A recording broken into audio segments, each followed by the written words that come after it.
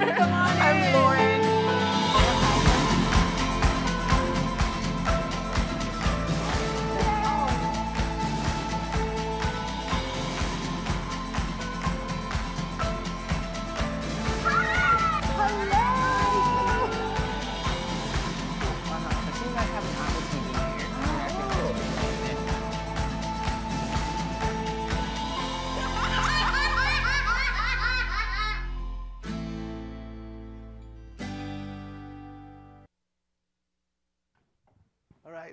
So it's my pleasure to have the opportunity to interview Ron Johnson, who is the uh, CEO of Enjoy.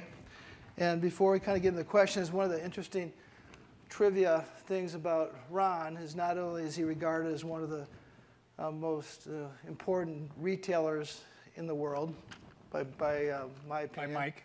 My opinion, but true. So not only do we live on the same street in, um, on the peninsula at Atherton, but we actually grew up in the same hometown um, in the suburb of Minneapolis, Edina, Minnesota. So anyway, it's, it's fun to have opportunity with Ron. So Ron, talk about the, the, the journey kind of to here in terms of what got you to enjoy and some of the things that you've done and why you know enjoy you think is, is such an Sure. So important I, idea. I've spent my entire career since business school in the consumer retail business. I started unloading trucks at a Mervyn store. When all your Harvard Business School When- guys were going to Wall Street. They were all. I turned down a job in Goldman's M&A Group, which was kind of hard to get at the time.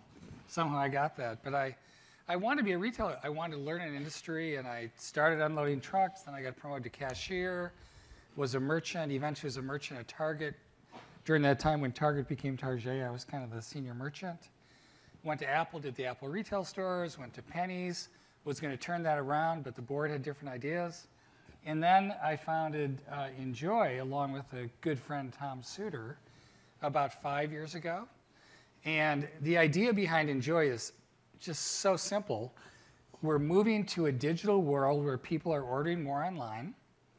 All we really have is digital convenience. You know, uh, Amazon leads that with, you know, pretty fast delivery when you order. In the physical world, if your product is kind of uh, premier, it tends to be sold in a premier last mile or an experience. Think of the Apple Store. Now, how do you deliver a premier experience in an online world? So I believe, you know, 10, 10 20 years from now, there'll be products for which we want convenience, and others we want help. And in this mobile world where more people actually work with mobile economy companies, like Uber and TaskRabbit, or whatever, how do you deliver a person through the door and deliver the service experience in your home or office? And so what Enjoy does is we provide super fast personal delivery. So if you order from one of our partners, in about three hours, we will be wherever you want with a person, with a product, set it up, teach you how to use it for free. And so it's free personal delivery, super fast. And our partners are people like AT&T. You know, we will do most AT&T online phones. Um, Sonos, you might have heard of, DJI, uh, others that I can't announce, but we're kind of getting started in this whole delivering experience for the world's best companies uh, when you want to start online. So talk about the challenges that some of the the old guard faces, the Best Buy, for example, and and talk about how you changed the game as it relates to um, you know kind of the future of retail and the pressures you put on somebody like that.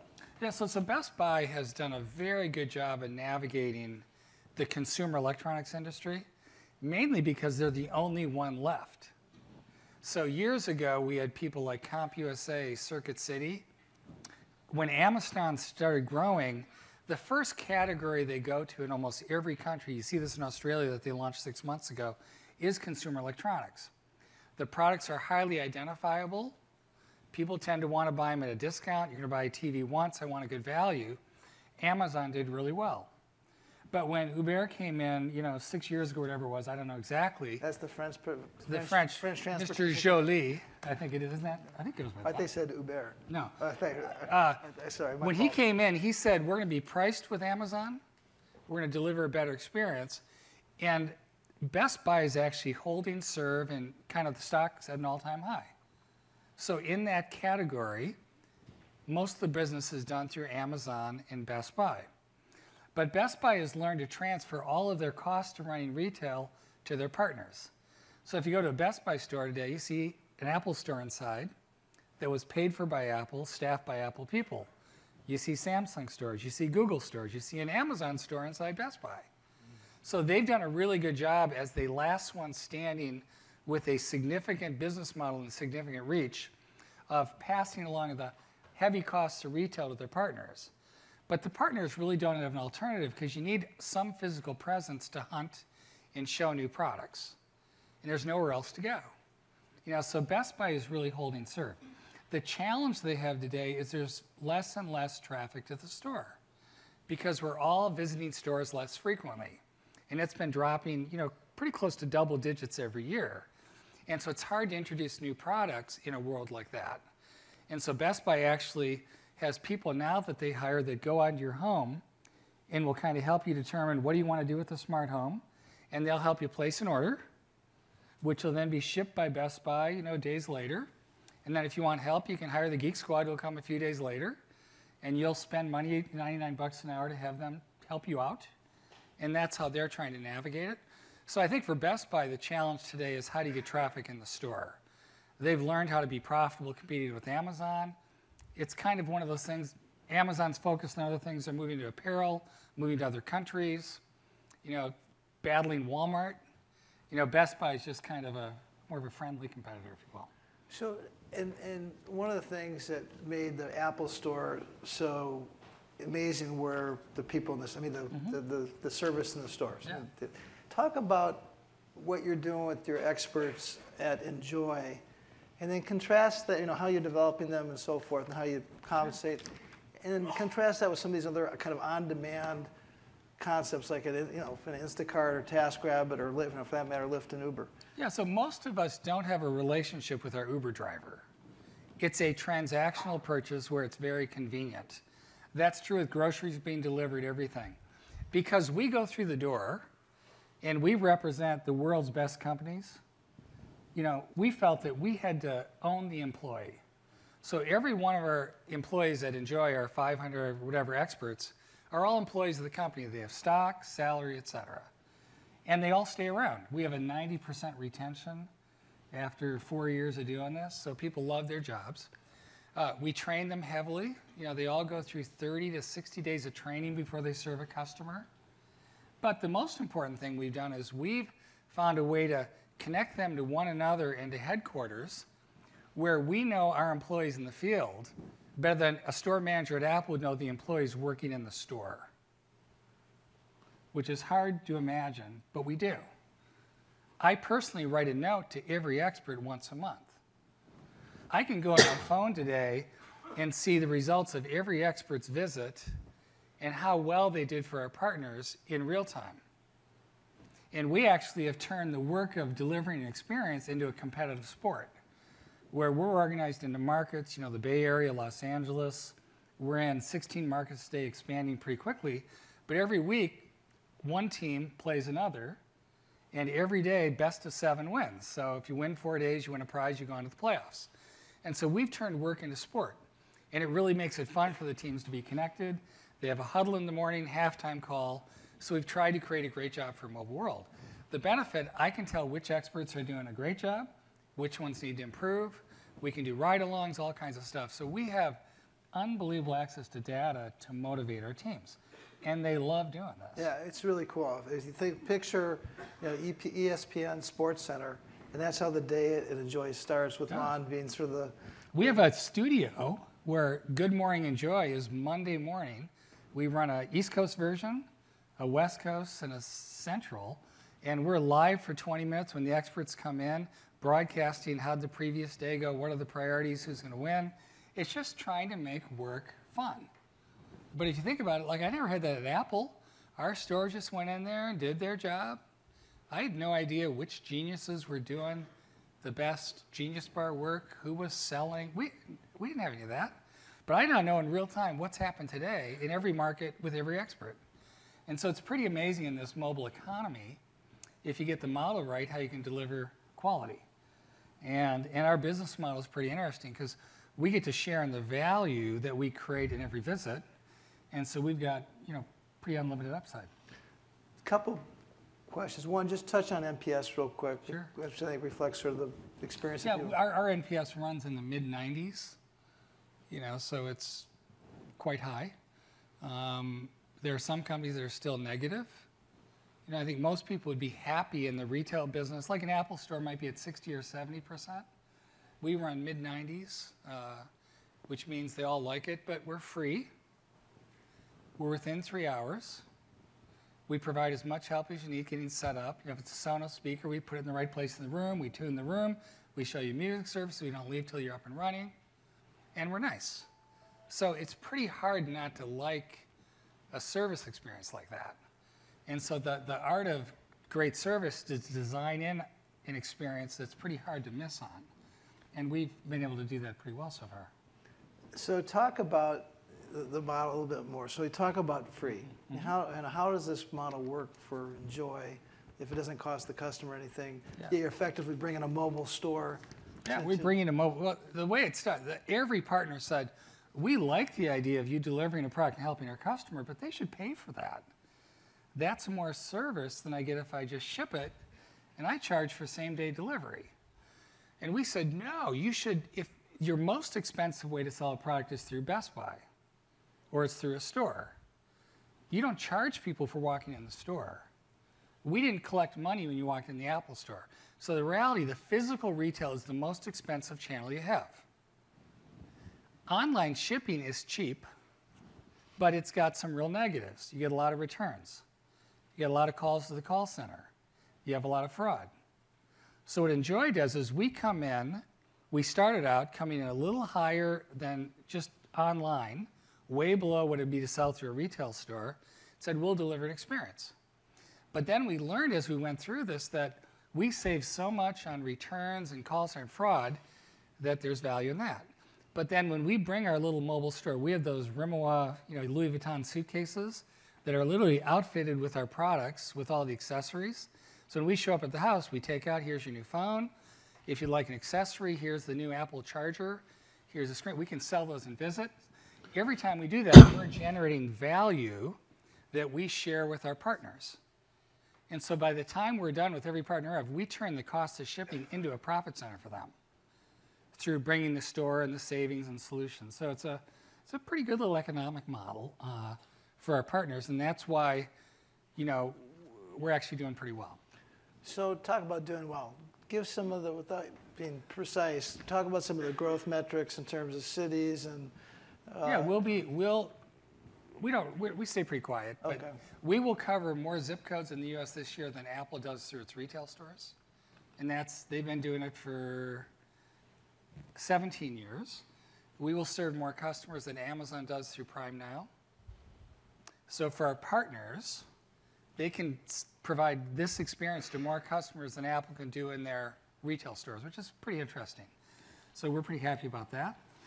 Um, and our volumes are growing a lot, which we're happy about.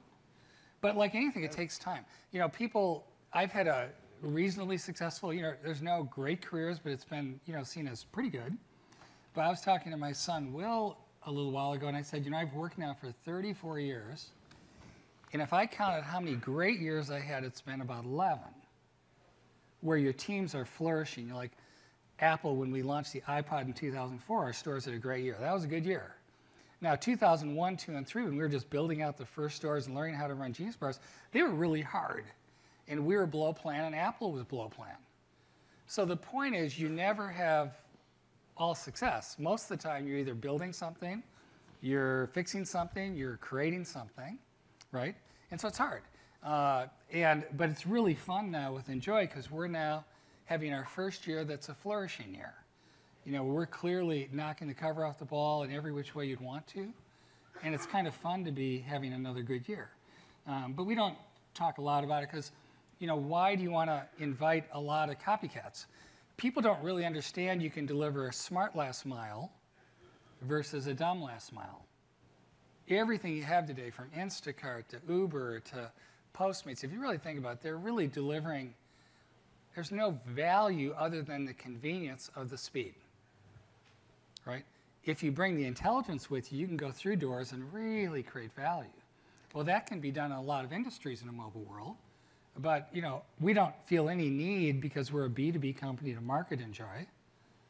Because most of our business is marketed by our partners because we show up as the choice in the shopping cart. So when you go to an AT&T shopping cart, you pick up in store, you have Enjoy delivered. That's it. Really simple, right? Um, so, you know, and, and I think the people who know Enjoy, and increasingly a lot more people know Enjoy, think of it as really a technology, bringing technology to the to the home or the office. Recently announced a, a, a partnership, and I'm sorry, I'm going to butcher the name, but the Tigger. wa- T- Tigger, the watch company. Talk about that and, and how that might play we're into the future. exploring, you know, Yeah. like we're, we're in our fourth year of delivering, which is where Amazon would have been in 1997 when they were starting to move beyond books. Right? So we're early in this. Our focus is consumer electronics. Uh, high-end watches are a luxury product where you love to, you know, look at four or five watches and see you want to keep. You know, so we can deliver a watch to your home really efficiently um, and help you get set up with that. And it's a high economic value thing. So we have a partnership to do just that. And we want to learn long term where can you extend the idea of a premium delivery experience? Is it high end apparel? Is it cosmetics? You know, you have estheticians that go to the home, and instead of having your makeup done at Neiman's, someone brings a beautiful makeup mirror, they're trained, you've got three lines you want to try. Let's start with your cleanser, let's go to your foundation, let's order your subscription, let's try a little color. You know, we think all of these things can be done really well in the privacy of a home for the premier brands that command a premium. And it seems silly for them to fall down and just ship something and let it sit on the doorstep and get a lot of returns. You know, so we're just kind of playing with new categories like we are with uh. So uh, we talked about your NPS being high 90s, which is remarkable. I know the average customer rating is 4.93. Share with us your best customer experience story, if you don't mind. Well, we get we get ton about half not quite half, but about 40% send us notes every day. And I received a note last Wednesday from a customer about one of our experts in Santa Fe that we actually played her story on Good Morning Enjoy this Monday for the whole company to see. So it's about two minutes, it's a little long, and it's not a high end video, but we'll play it. And this just gives you a glimpse into what an Enjoy expert is like. You know, you see Shantige is one of our experts, and this is her telling a story of a visit, and you'll get a feel for the company. So I think we have a little video set up. Let her up. There's days I get invited to stay for dinner. Some days I do visits on top of the hood of a car, but it has never changed my approach when going on my visits. I always go into every visit with an open heart, an open mind, and the same goal. There's one particular day I know I'll never forget. This visit was out in the middle of nowhere. Um, I want to say I drove almost like an hour to get there. And it happened to be at a Shell gas station. Um, the enjoyer was a single mom who worked like three jobs, and this just happened to be her weekend job. But anyway, she was upgrading uh, two 5C phones uh, to like an 8 and an 8 Plus for her and her son. I remember walking in and shaking her hand, introducing myself, and she immediately sat me down at a table kind of over by like the slushy machines and told me, you know, I could do the transaction right there. But she was kind of busy because she had to continue to like work the cash register. So I got my stuff out and I started the visit. And when she got a little bit of free time, she sat down and immediately she was just telling me that she hadn't had money or to even think to upgrade a new phone in almost like five years. But this lady truly just needed someone to talk to, someone to listen to her. And I just happened to be that person. I remember her telling me, you know, she was a single mom. She ended up purchasing, I want to say, like four accessories, and at the end of the visit, wanted to tip me. But I told her, you know, this is what we do at Enjoy, delivering this exceptional experience, and that seeing her smile and being more educated about her new phones was by far enough. I remember she cried and insisted that I take the tip almost like it would offend her if I didn't because she was working so hard to be able to do this. I felt like the lady would have given me her shirt off her back, hands down, no questions asked. But after finally accepting the tip, I I bought her lunch with it. It was truly like the most amazing visit that I've ever experienced. It made me realize why I work for Enjoy. And it was so much more than just delivering or activating or setting up a phone. I felt like we were friends, you know, at the end of the visit. I would have went out of my way to help her again, over and over.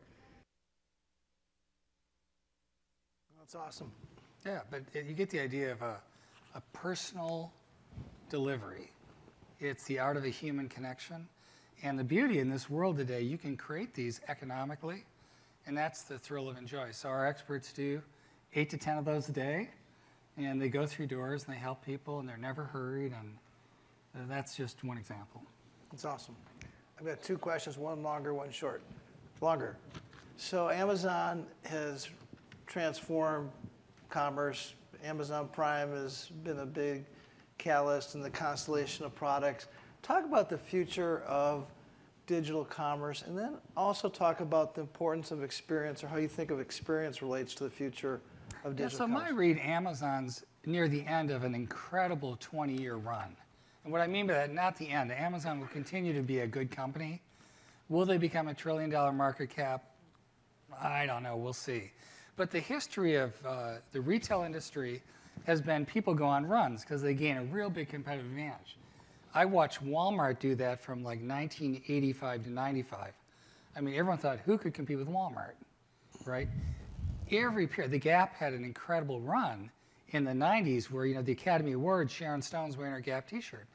People go through runs, but then eventually the industry starts to catch up. Right now, Walmart, Target are making huge progress in the US against Amazon. We just watched the data. And since Amazon said they've got to go do physical stores to compete, like they bought Whole Foods, they clearly are trying to learn about okay, I've got the online thing figured out. How do I go physical? It's a lot harder to learn physical than it is to learn online. So Walmart's now trying to learn to do online, and they've got Jet and all these things. But they're going to leverage their 2,000 stores as basically warehouses where customers can pick up, they can ship from there, which is a lot lower cost than Amazon shipping network, no matter how they do it, because they've got to ship further. And so I think Amazon's obviously a great company, hugely innovative, but on the commerce side, they don't make a lot of money, and I don't think it'll be easier going forward. The fact that they raised the price of Prime by $20 says they're having trouble funding this, and they have no new customers to acquire.